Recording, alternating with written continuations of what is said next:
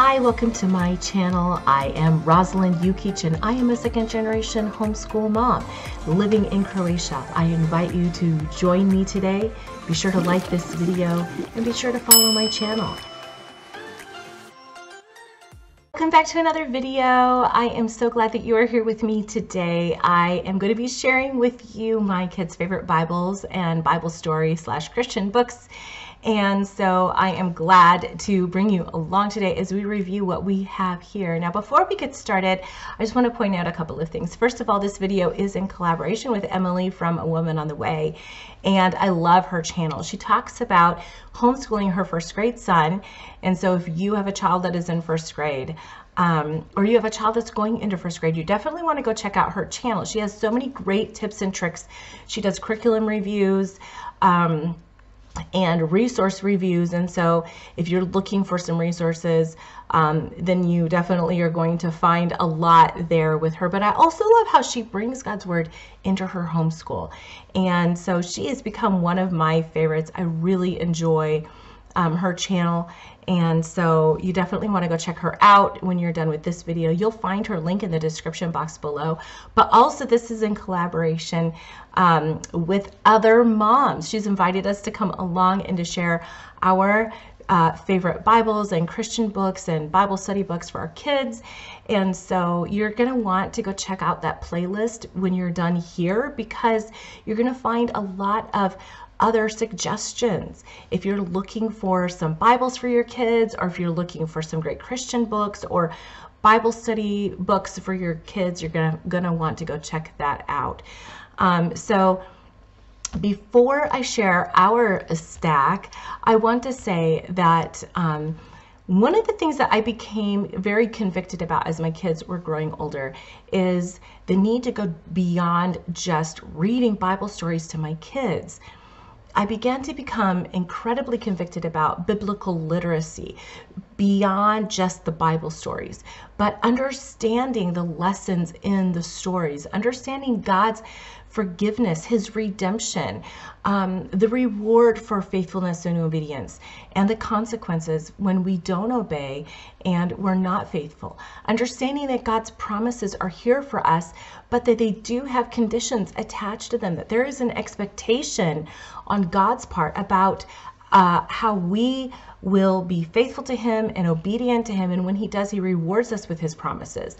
Um, understanding um, you know, prophecy and the importance of prophecy and seeing how Jesus is reflected in the Old Testament, but how he fulfills that in the New Testament and all of these things that it's more, it's important to go just beyond the Bible stories and begin digging into the truths of God's word and the theology. Theology is important and it can be uh, it can be simplified that a child can understand it. There's no there's no reason why a child cannot understand simple theology.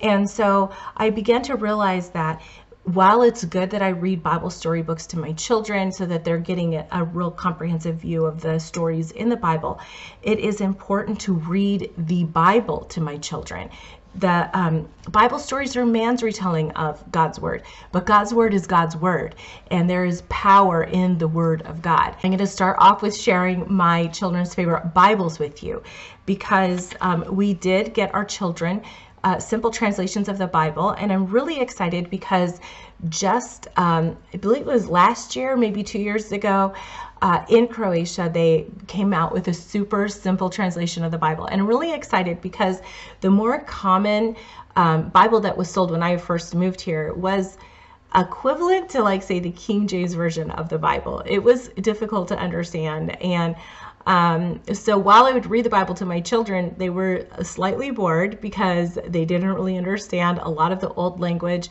Even I didn't understand a lot of the old language. And so um, they came out with this. Now, for those of you, if you live in Croatia, this is free, at least it is in our church anyway. Um, this is just a simple translation of the Bible. And so um, super simple. My children can understand it, you know, and uh, my children are bilingual. And so, um, you know, their vocabulary is somewhat um, uh, smaller because uh, they are learning two languages at once, but they can still understand this Bible. So we have a copy for every person in the house. Now, this is something that my parents did with us when we were growing up. We'd have our family devotions. My dad, uh, through um, CBD, ordered uh, one one copy of the exact same Bible for everyone in our home. This would be equivalent, say, to the New International Version of the Bible. So um, if you're looking for a simple translation for your children, something that they are going to understand, but you're wanting a translation and not a paraphrase of the Bible, you'd want to check out the New International Version. So this would be equivalent to that.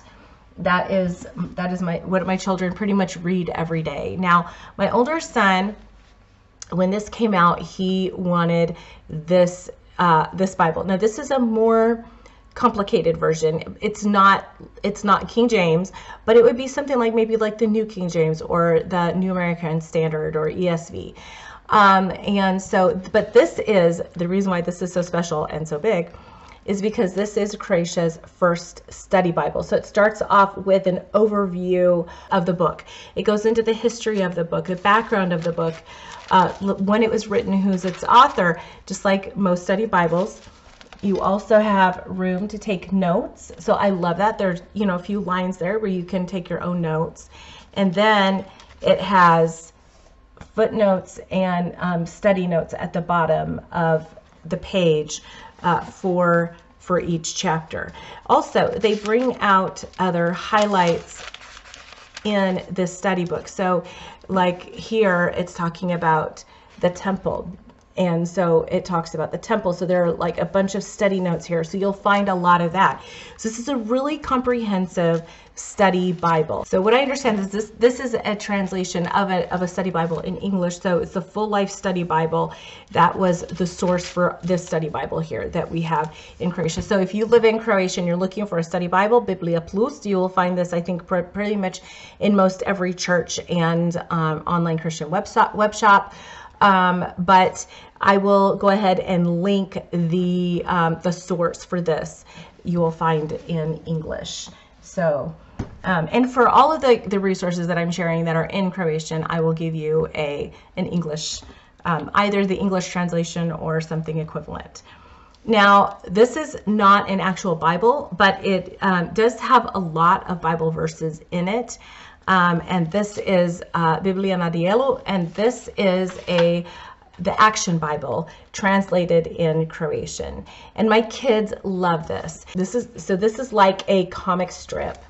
And so my I, I love it. Now the pictures are so colorful and it is so as you can see, it is so fun. It has all of the stories of the Bible in it and it goes through from Genesis all the way through as you will see to Revelation so you have um, Revelation in here as well. And so that is another option. Now this one is one of my favorites for my children, and it is definitely probably their absolute most favorite. Now they flew through this and that is the brick bible it comes in two volumes it has old testament and new testament as you can already see um, what it is it's lego setups uh, for the bible and again, it follows sort of like a comic strip format, but using Legos, which is so great because when my kids want to go and build something in the Bible, they, will refer to to this, to the Brick Bible. But it has every book of the Bible. So it goes through each book of the Bible, it pulls out the stories, and um, it builds them and it it goes through you know it doesn't just pick out the fun stories of the bible. It goes through and even some of the more harder stories of the bible but it um it even get delves into revelation. I mean just look at that. It is so so fun. And you know and i have to say that when i would touch on like maybe more obscure story of the bible my kids already knew about it because they had read it in the brick bible. So um and they were they could retell it very, very well. So I was pretty excited about that. Now, the last book I want to share with you is um, is our Christian book Read Aloud that we're doing right now. And this is actually my dad. So this is his biography.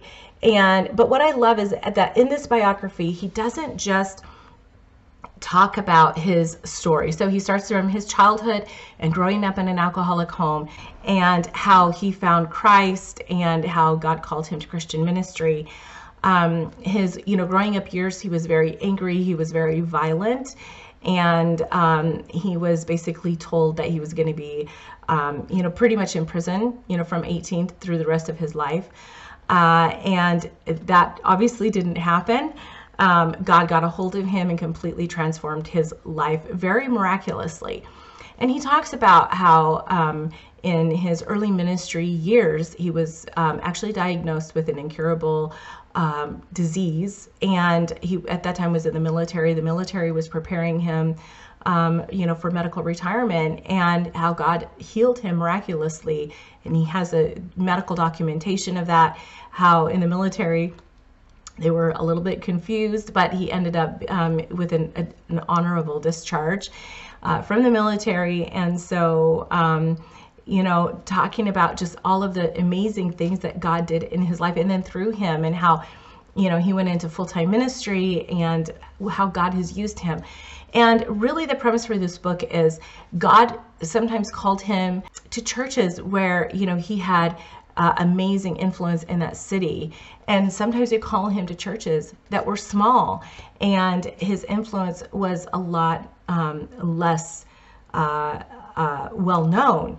And but how he was willing to just do whatever God called him to do, and go wherever He called him to go, and go to places where God had maybe called other people to go but it really just kind of didn't fit into their plan and so they didn't go. And so you know god sent him and how god has used him um, in every one of those situations. And so um, this is really great. It's not only a, a, wonderful way for my children to get to know their grandpa um, in a much deeper way in a far more personal way but um, to to see what God has done through him, to under not only understand the heritage that they have, but to see how God can use anyone who's willing to do what God has called them to do.